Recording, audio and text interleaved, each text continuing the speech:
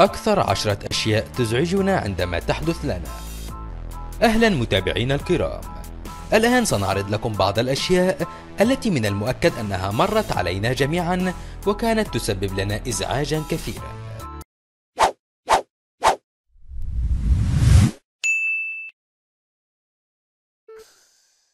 كلنا نعلم كمية الإزعاج. عندما يكون شخص ما وراءنا عندما نكون جالسين ونستعمل الكمبيوتر والشيء المزعج أكثر عندما نطلب منه الرحيل لكن لا جدوى. فما علينا إلا الانتظار إلى أن يغادر ذلك الشخص. هل حدث لك يوما ما؟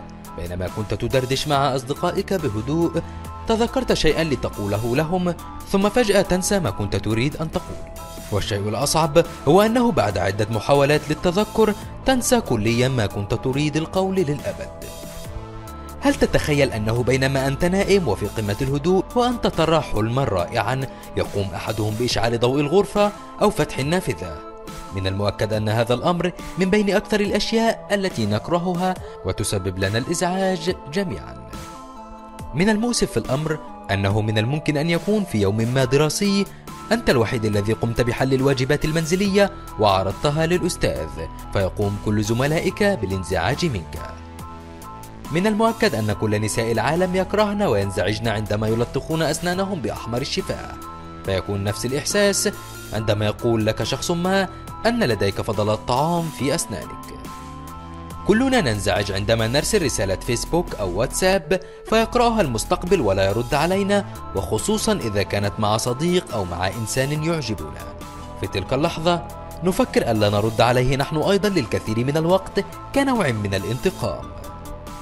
لا نعلم في أي نوع من السحر يصنف هذا لكن عندما نضع سماعات الأذن يقوم الجميع بالتحدث لنا وعندما نضعها لا يكلمنا أحد. مستخدمو اليوتيوب. عليهم انتظار بعض دقائق الإشهار لكي يمكنهم رؤية الفيديو كاملا. الشيء الأكثر إزعاجا هو عندما نكون نستمع إلى موسيقانا المفضلة وفجأة يأتي صوت الإشهار المزعج. من بين أكثر التجارب الأليمة والتي ننزعج عندما تحدث لنا عندما تدخل قطعة خشبية بين ظافر الإصبع. فمجرد التفكير في هذا يشعرنا بالألم. من بين أسوأ الحالات التي يمكن أن تحدث لنا هو انتفاخ أقدامنا في منطقة الكعب بسبب الحذاء الذي نرتديه حيث يتشكل سائل تحت الجلد والذي بدوره يعتبر المسؤول عن الدفاع في أجسامنا لحماية أنسجتنا.